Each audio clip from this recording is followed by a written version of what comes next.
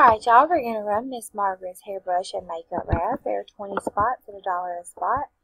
Copy the list and go live at 419, just rolling to 420. Let's paste our list. We have 20 spots, so we are going to need a 4 or higher on the dice. We have a 5. Here we go at 420. After the first time, there are 20 items on the list with myself on top and Sonia on bottom.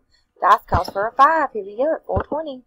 It's 2, 3, 4. After the fourth time, there are 20 items on the list. Sonia's on top and Sedera's on bottom. We've randomized four times. Dice calls for a 5. Here we go for the last time at 420. Good luck, y'all. Alright, after the last time, spot number 10, Micah Jack, you are the winner. Congratulations. There were 20 items on the list and we randomized 5 times. Dice 4 and 1 did call for 5. We are done at 420. It is 420. Congratulations to spot number 10, Micah Jack.